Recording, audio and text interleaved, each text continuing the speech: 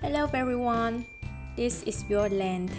Each plot for each 4 items. You will unlock by owning an according NFT. The additional plot is strongly recommended to open by renting 300 Y per week so you have enough resource to get maximum Y rewards and experience the Wanatrade to sell your own products for extra income. Most of the area is decoration items. You can see and run around by the AST key or arrow key. Here are the places to grow apples. Each apple takes 12 hours, so one full day you can grow 4 apple trees. I will talk about how you submit apple and other items for daily quest. Here is the place to raise fishes. Sometimes you need to see a strange fish not raised by you. It will appear and you have to run on the plots of the lake to find one plot that the control screen changes into a hand icon. It is coinfish. It appears 30 minutes randomly a day and if you are luckily on time, you can catch it by running on the lake plot and click to catch. Claim 25 wave in daily request area. Here is the place to grow cows. You should open two plots and raise two cows at the same time because it takes a whole day, 24 hours to harvest. One cow you will submit to the daily quest for sure, and one cow you will process in the factory to get the elements for additional products in daily quest. You will be confused between Wanatrade and Wana Shop. Please don't. Check the shortcut number 3 and number 2 on your keyboard. The Wana Shop is always a safe way to buy seed, but it is very high. 2 US dollar for 2 cabbage seeds, where you can buy with 25 wild for 1 cabbage seed in Wanatrade around 10 times cheaper at the current wild price. You can also find the number one for your inventory. It will contain your seed, harvest item, ingredients, elements, and everything. Number 4 is to find the chest box. If you buy the seed through seed bags, you will open it to get seeds here. Same way for the next event chest that you may acquire through joining Wanaka events in the game later, like the Halloween event. You can check the Halloween event sample from the Wanaka office homepage and so on. Number 5 and 6 is for the factory, where you can split the harvest items into elements and ingredients or merge ingredients into other products as I told you that you need to complete the daily quest. You can also get more small wild by water or feed your items. This quest gives you 10 wild. Now, I will open the quest part so you can see how to accomplish by daily basis or weekly basis. You can always use your mouse normally on computer by pressing the Alt key. At that time, your mouse will appear. Wanaka has three kinds of quests, daily, quickly, and main quest.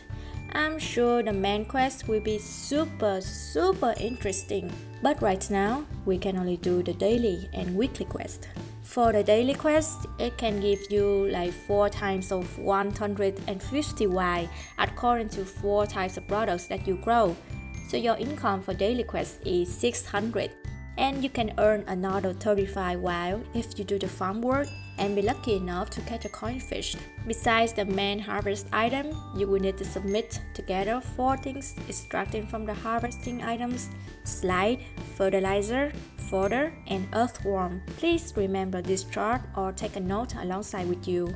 To achieve slide, fertilizer, fodder, and earthworm, you have to do two steps in the factory, splitting and merging. Each step costs you 2 energy and 5 Y. Remember, you have 480 energies free a day, but the recovery mechanism can give you like 720 energy.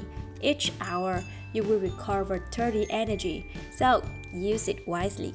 Energy is kind of a most waste resource that the default landowners can never imagine. I will talk about it in another video. Weekly quests. You can do all a quest totally in two kinds of activity. Harvesting items from growing or submitting the products processed by the factory. Every week, Monday at 2 UTC, you will reset another 2 in a quest randomly. The reward is huge from 1200 wine or 3600 wine. However, you cannot accomplish this kind of quest because you don't have enough land and time in one week to grow that quantity. Even you open all two per item, it is for current situation for now. But if you are given this kind of quest, the rewards is triple, 3600 while. This is quite tricky and you think that you can never achieve it? No. I will prove that and even if you don't have a land, you still can do it.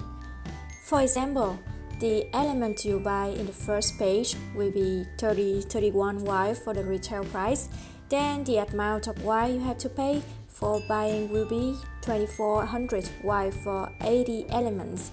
But if you keep looking in the following pages, you will find elements which will be sold at a wholesale price for about 2300 Y. So you can see the price has already 100 Y cheaper than the retail price. And everyone, please open an account as soon as possible before the purchase of NFT has to be done on the market. If the amount of NFT in the market is not provided enough, the price will be high and largely depends on the landlord. The deadline is December 19, so please open the account before that date. Another thing to take note is that there are bad guys who's selling a elements but make the price at the same as selling 80 Please see the quantity clearly and prepare a physical calculator for your purchase. I have successfully bought all the need elements to complete the weekly test. Remember to buy the element, don't buy the finished craft product because it will include the cost of production in terms of 5Y and 2 energy. You have plenty of free energy, isn't it? Don't run out of while at this stage you have to use another 400 Y just for crafting. Here let me show you the demo of the machine in the factory. You just need to be patient. As you can see, I'm crafting manually one by one product.